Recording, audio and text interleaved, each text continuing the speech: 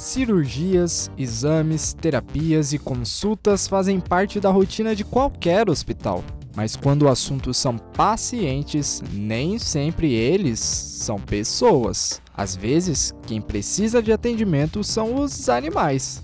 Sim, cachorros, gatos, aves, cavalos e tantos outros. Esse é o público do Hospital Veterinário da Faculdade de Medicina Veterinária e Zootecnia da USP, na capital paulista o atendimento por espécie e especialidade. Então, nós temos o atendimento tanto de cães quanto em gatos, na área de pequenos animais, e temos as especialidades. Então, ele tem um atendimento em clínica geral, ele tem um atendimento em dermatologia, ele tem um atendimento em cardiologia. Temos também os exames complementares, ultrassonografia, raio-x, exames laboratoriais. Então, nós temos uma ampla gama de especialidades para o atendimento desse animal. Conhecido como OVET, ele é considerado o maior hospital veterinário e universitário da América Latina e o pioneiro no Brasil na oferta de especialidades e procedimentos cirúrgicos. São 82 mil atendimentos, além de 50 mil exames e 2 mil cirurgias feitas por ano.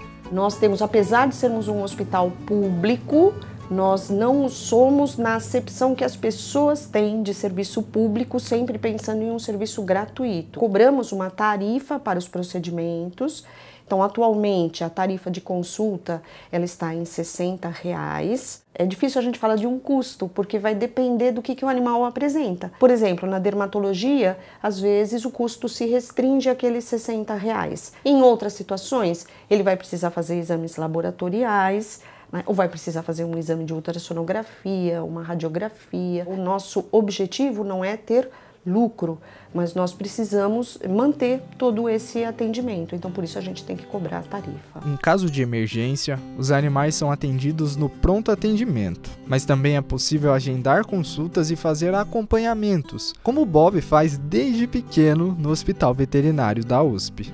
Ele foi achado, ele não tinha nenhum mês, ele já veio para casa doente. Ele com 15, 20 dias, ele já começou a desenvolver uma, um problema digestivo, que foi descoberto aqui, que ele era uma infecção, que ele tem no, em todo o aparelho digestório. Começou a fazer esse tratamento. Durante esse tratamento, ele teve que fazer duas cirurgias aqui. São 11 anos que ele vem, tá? Porque ele vem aqui desde os dois meses. Então, são 11 anos, assim, sagrado, todo mês, uma vez aqui na USP. Ele vem ao hospital, a gente faz o exame físico, né? mensura a frequência cardíaca, respiratória, hidratação, temperatura, todos os parâmetros para ver se está dentro da normalidade, como um check-up mesmo, avaliação e pede alguns exames mais pontuais pensando na, na doença renal. É muito importante a gente avaliar como está a estrutura desse rim. A gente tem que avaliar um animal como um todo. Compila todo esse histórico e avalia, depois junta a parte da imagem com as alterações ou normalidades, enfim, do exame de sangue. O que muita gente talvez não saiba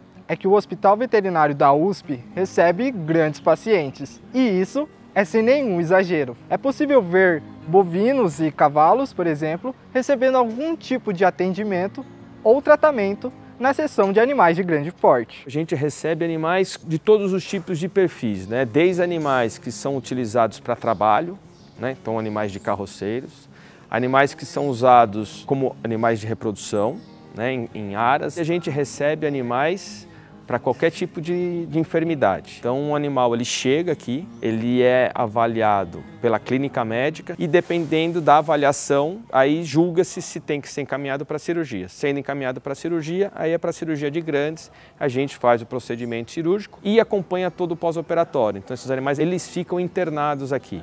Eles voltam para a propriedade só depois da alta, quando eles já têm possibilidade de ficar na propriedade sem nenhum tipo de acompanhamento. São atendidos cerca de 400 animais de grande porte por ano. Só de cirurgias são 250, mas tem espaço para os baixinhos também, como é o caso dessa mamãe pônei, que estava realizando a troca de uma placa de mobilização em uma das suas patinhas. Há um ambulatório de aves, existe uma veterinária responsável, também com acompanhamento de um docente, e essas aves também são tratadas de acordo com a sua necessidade.